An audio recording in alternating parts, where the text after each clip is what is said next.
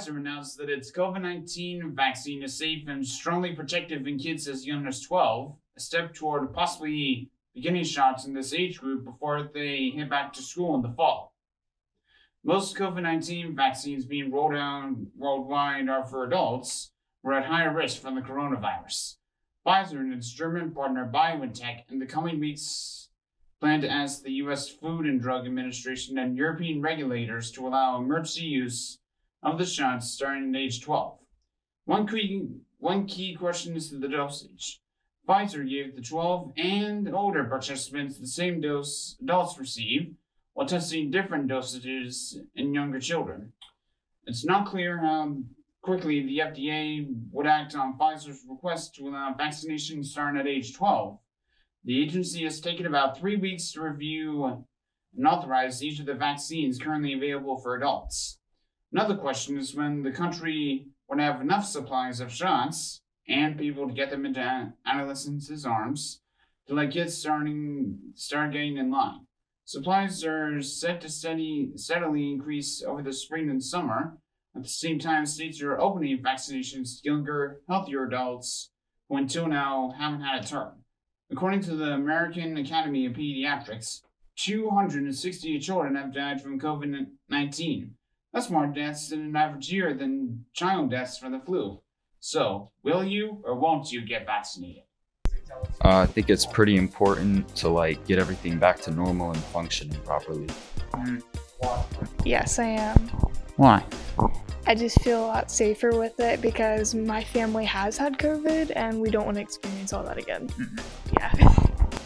Yes. Why? Not sure. Uh, I have no clue. Um, vaccine is a great form of medicine, but it hasn't really been out that long, so I'm kind of weighing my options still. Why? Uh, I, I know a couple of people that got it, and they said that it was really good, uh, and that they were sore for a couple of days, and then it was fine to go, no side effects. But I just want to wait a tad bit longer before I get it, maybe a few weeks, see how it plays out with a few other people. Yeah, Why? Because both of my parents got it in their volunteer firehouse. No, Why not? I don't know.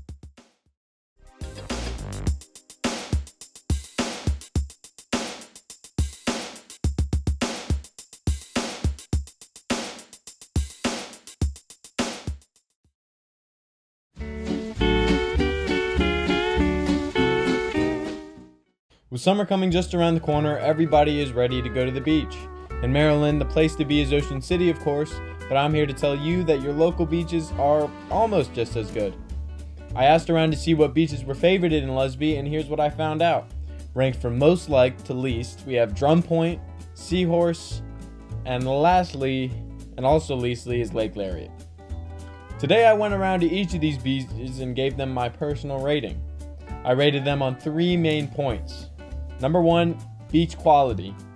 Two, attractions. And three is the accessibility. First on the list, Drum Point Beach. Hope you enjoy. All right, what's up? We're here. We're at Drum Point Beach. Soaking in the sun, getting them tan lines going.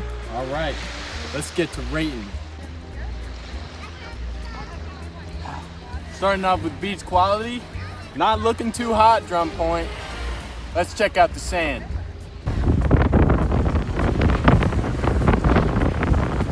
Sand quality is pretty good. Aside from a few pine cones here and there, I'll give it a 7 out of 10 for beach quality. Alright, moving on to the beach attractions.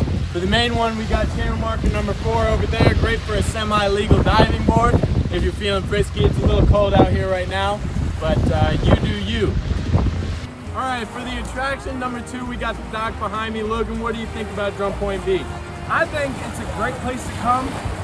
Great place to come if you want to go fishing, if you want to enjoy your place with a family, if you just want to have fun at the beach. Definitely come to Drum Point Beach. All right, out of 10, what, what would you give it? I would give it a 9.7 out of 10. 9.7?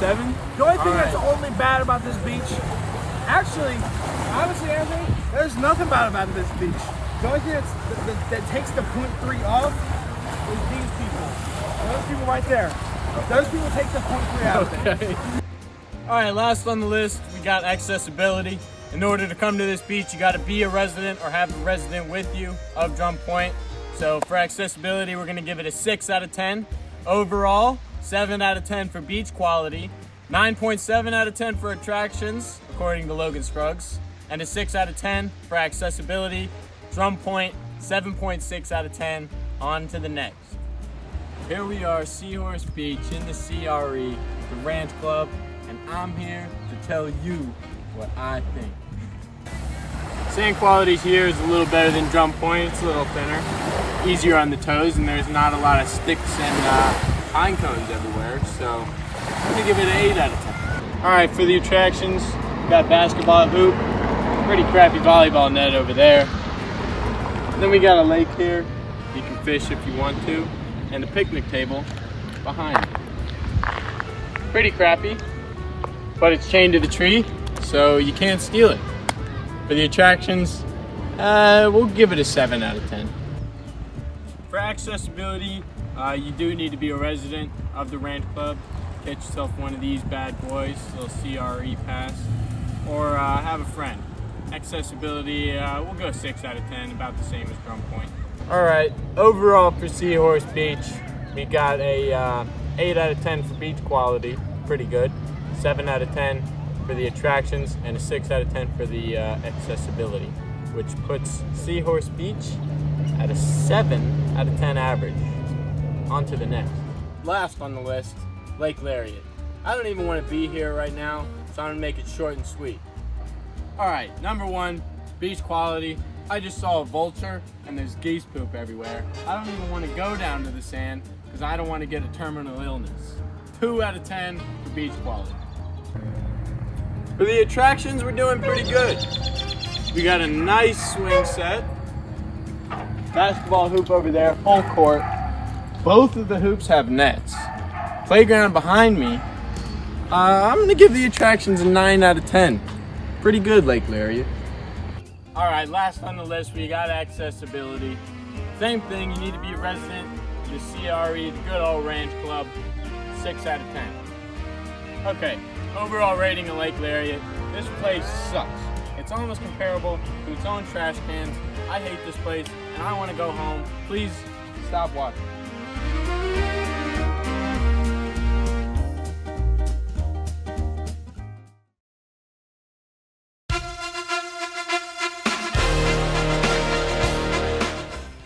Floyd Mayweather versus Logan Paul on June 6th. What? It's going to be a very interesting fight. Two very different types of fighters that come from two very different backgrounds. Floyd Mayweather has been a professional fighter for over 25 years, and Logan Paul, a very successful content creator, has been fighting for about two years. Logan Paul is the MGM odds favorite at plus 2,000, and Floyd Mayweather is at negative 100,000. So, if you bet $100,000 on Mayweather winning, you would only get $100 back. Floyd Mayweather's type of fighting is fast and very agile, but he is shorter than Logan, so being able to get a nice headshot on him will be a difficult challenge. Logan, on the other hand, I think has a better chance of winning. He is a powerful boxer, and if he lands a good square punch on Mayweather, I think he would be in some deep trouble. Logan is also 50 pounds heavier than Mayweather, so he won't go down so easily with just one punch to the abs. If I was betting on this fight, even with Mayweather's experience, I will still put a bet on Logan Paul to win the fight. I can't believe this. What the heck is Mr. McMahon thinking?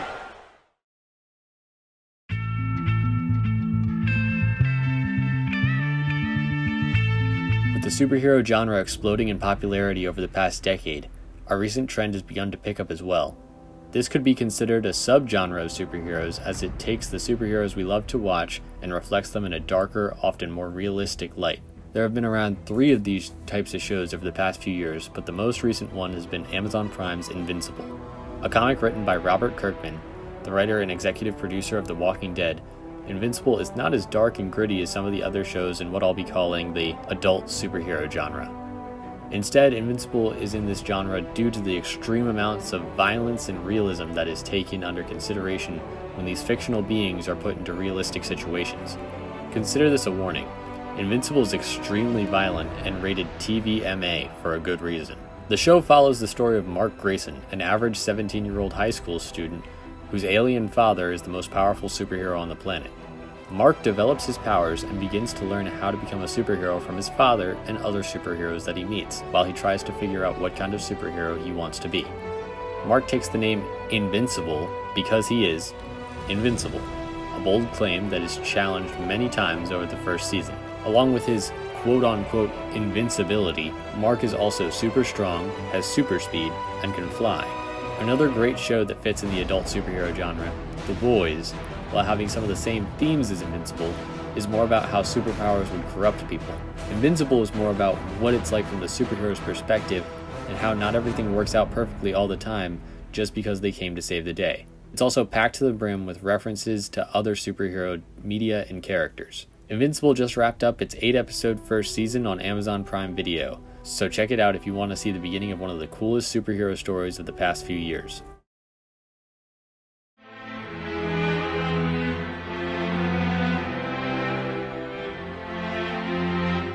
I don't think there's a shred of doubt in anyone's mind that this last school year has been the craziest school year ever. From cutting off school completely for two weeks to starting a brand new school year miles away from any school, we have been in for a wild ride. The people most affected by this shift, however, has to be the 2021 seniors. Not only were they affected by the weird teaching method of the last school year, soiling their junior year, they have received one of the most underwhelming farewells to the public schooling system. As a first hand witness to these events, being a senior myself, I can say that this year did not live up to the expectations set throughout my life. Instead of enjoying all the positives of being a senior, we have been sitting in front of our computer screens doing homework four days a week or sitting in socially distanced classes with a teacher forced to teach in person students as well as virtual ones. This year has gone by faster than ever and doesn't feel special or like we are about to be thrust into an adult world full of responsibilities. The best we can do now is try and savor the moments of our senior year. And here are some ways we can do so. The first and most obvious thing you can do is to make the year special yourself. Get excited and attend up and coming events. Despite the pandemic, some major senior events are still happening, such as prom and graduation. These are big moments, so make sure you have a good time. Another relatively easy thing you can do to still make your senior year special is buying the yearbook. A yearbook will likely stay with you for many years, and you can look back upon your high school years with nostalgia or hate. I think most high schoolers agree the best thing about high school isn't the free graduation, but rather the friends you get to see every day. If it is safe to do so, another thing you can do before the end of the school year is hang out with your friends. Seniors haven't been dealt a great hand this school year, so try and make the most out of it while you still can.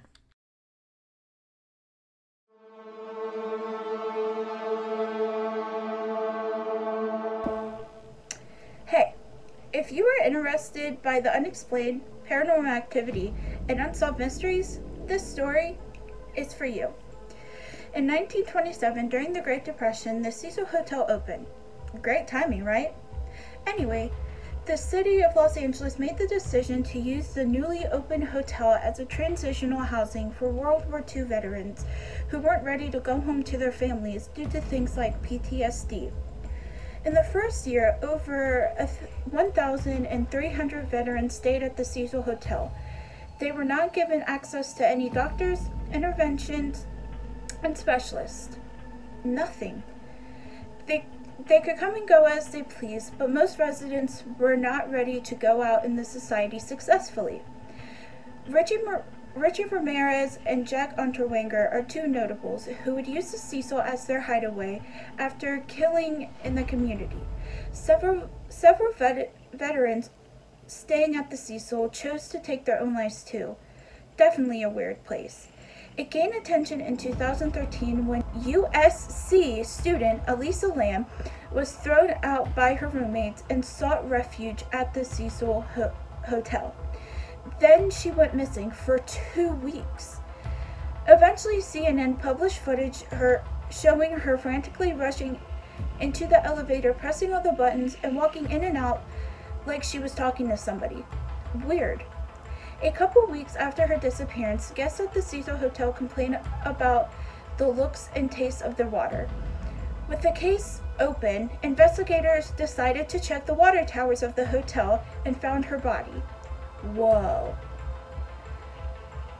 Some fellow YouTubers like Chris Starr, Joey Official, and Jake Webber all went to the hotel to investigate what actually happened to Elisa Lam. And what they got on their spirit box session was chilling. Well, I hope you guys learned of the history about the Cecil Hotel. I know I did, and it's very interesting.